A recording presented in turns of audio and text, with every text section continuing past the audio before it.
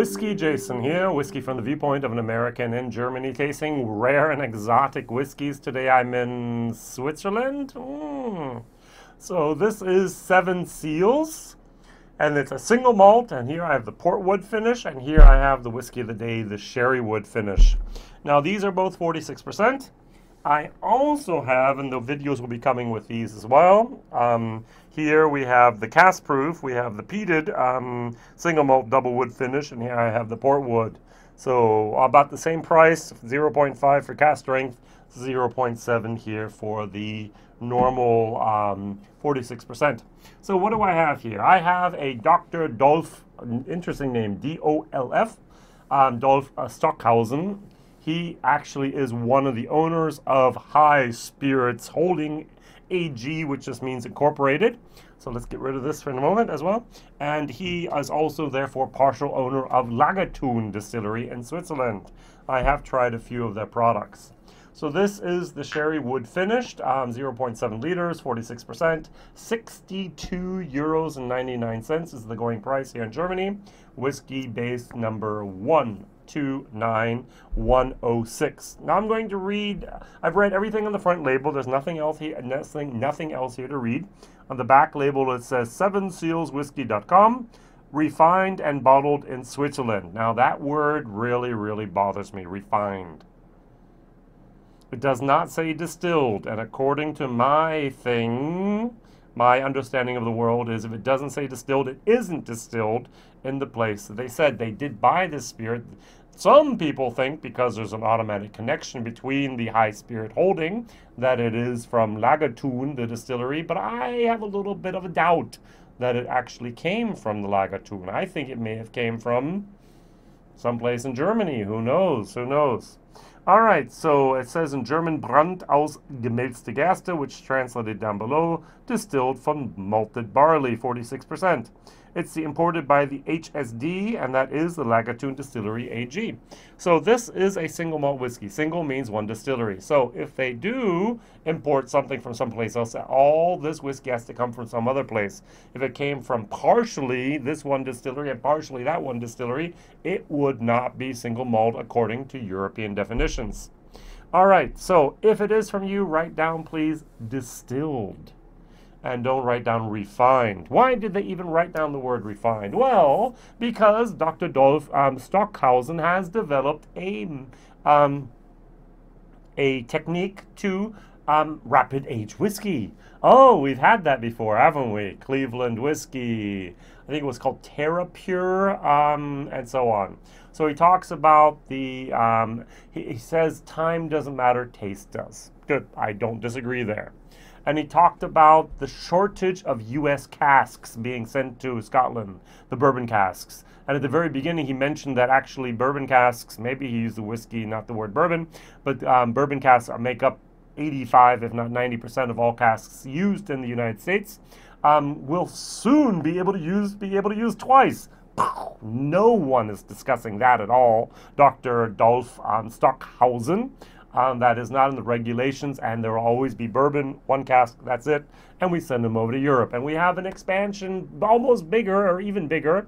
The, the, the whiskey industry has expanded faster in the US than it has in Scotland. Scotland's been vacuum, been amazing, but actually US has even been more, fa- uh, been faster than that. So don't worry about cask. There is no such thing as a bourbon cask shortage at least not over here in Europe. Yes, they cost maybe 10, 20, 30% more than they did five or 10 years ago, but hey, inflation and so on. All right. So he talks about the different types of um, maturation. He talks about the addition.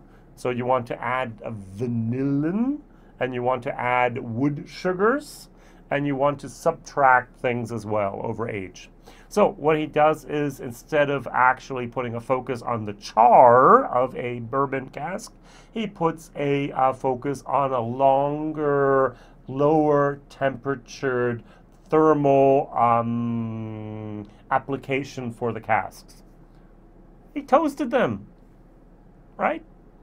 So, and what do you turn that wood sugars into caramel with? Toasting. If you've ever had a Michter's toasted barrel instead of the normal Michter's, you will feel, taste, and experience a difference. So toasting is a beautiful, beautiful thing.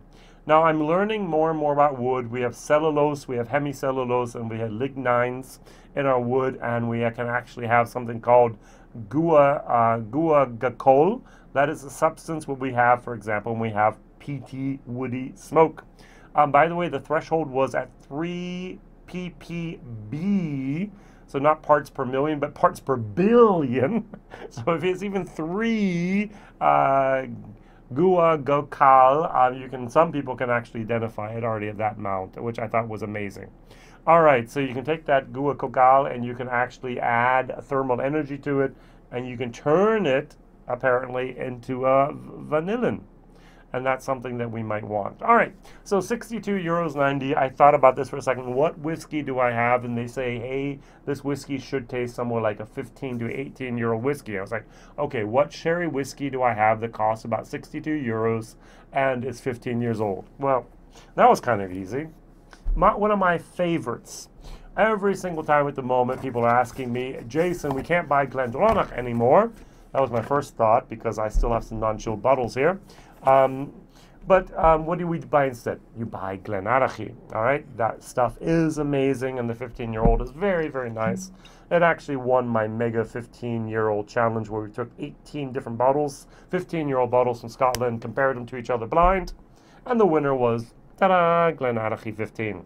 Now, the first thing I have to mention is the color. Yeah, all right, good. You see here on the right-hand side, you see on the left-hand side, 15 years old.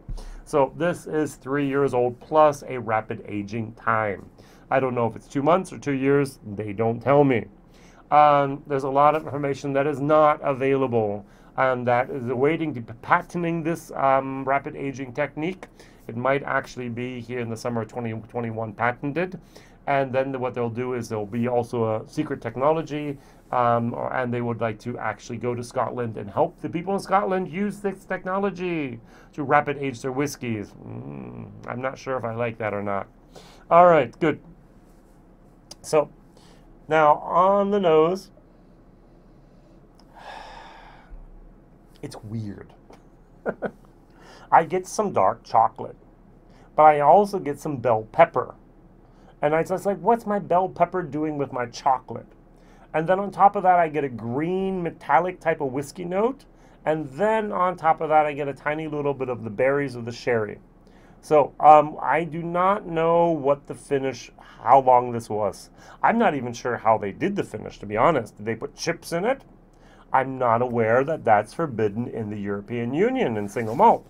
I do know that Scotland has certain regulations that forbid it there, but now, did they use the word? Oh, they have a they have an equation. They have F for finishing, divided by E for ennoblement, mm-hmm, times um, celerity, which means speed, uh, plus quality equals seven seals. So we divide the finish by the ennoblement. All right. So how how is how noble are the cask? I guess we times it by the speed and we add the quality. I don't know why we add quality. I would actually add the speed and times the quality, but hey, I guess I don't understand that equation. All right, so, um, and there's a greenness to this. This is a really type of young whiskey, which is not perfect in my opinion, especially when I go over to the Glenallachie. Ah, oh, woodiness, sweetness, brown sugars, um, aromas of, um, of dark, rich plums, and so on. Wonderful, wonderful whiskey. Over here, eh, not sure. A little bit of a green wood, got that bell peppers, got that interesting chocolate in there. I guess there's some European oak in here. They did mention something that they like to get the tannins out of the European oak, especially in the port and sherry barrels, by adding water. So they flush out the barrels and they can actually take out some of that tannins that way. Um, I think the wine industry uses that as well. Um, so, cheers.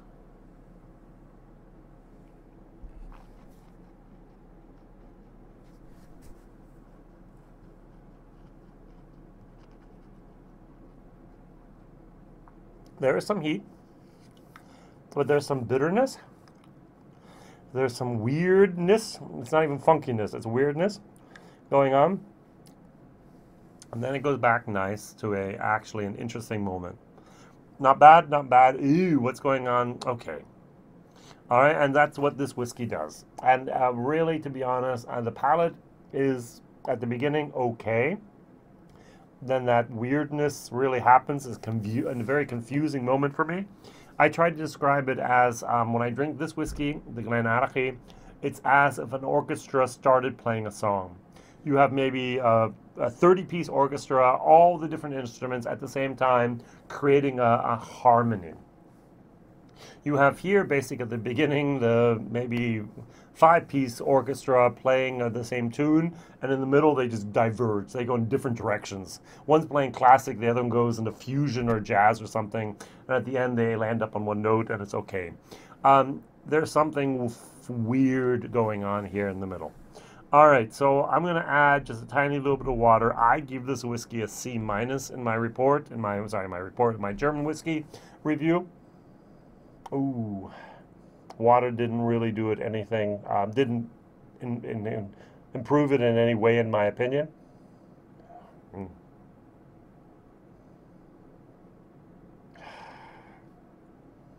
Michael, not Michael. Um, what is the guy's name here? The whiskey Bible guy. Uh, Jim Murray. He gave this, uh, not this, but some whiskey from um, Seven Seals in 95, which is amazing. Which shows that my um, palate is not the same as his palate.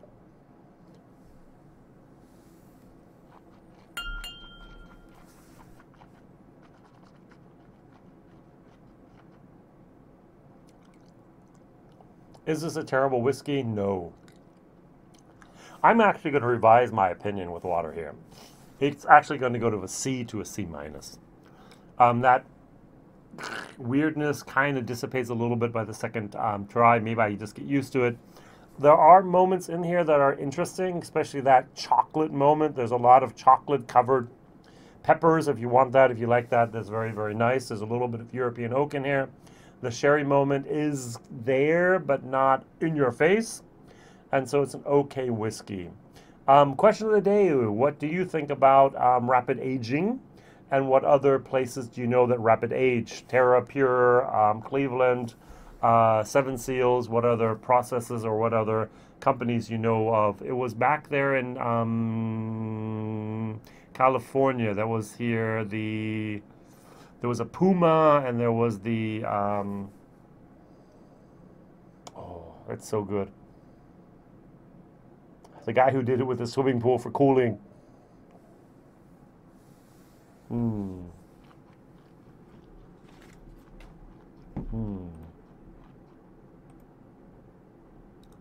So let's see if I can find that name real quick. L Hmm. All right, there was a guy out in California who did also some rapid aging stuff. That was very, very weird um, and very, very interesting. Um, the Glen- Glenallachie 15 is the new Glendronach 15 for me. At least I can say that. I really like everything that's coming out from Glenallachie at the moment. And the core range, I'm not sure about the 18 and the 21 and so on, but the 10 year old cask strength, the 12 year old, the 15 year old, magnifica. All right, very, very good. This value for money, it's a D. I'm not willing to pay 62 euros when I can get this for 8 euros cheaper over here. Um, limited distribution, I do know that we have this in um, Germany. I do know they have it in Switzerland. I'm not sure about the UK, Australia, US, or any other places about their plans. Whiskey Jason here, whiskey from the viewpoint of an American tasting rare and exotic whiskeys. Today, Seven Seals, their sherry cask finished, um, rapid aged whiskey actually more of a C than a to a C minus um, rather than a D plus. Thank you very much for watching. Like, subscribe, tell others, and thank you very much for all your comments. See you soon, Whiskey Jason. Bye bye.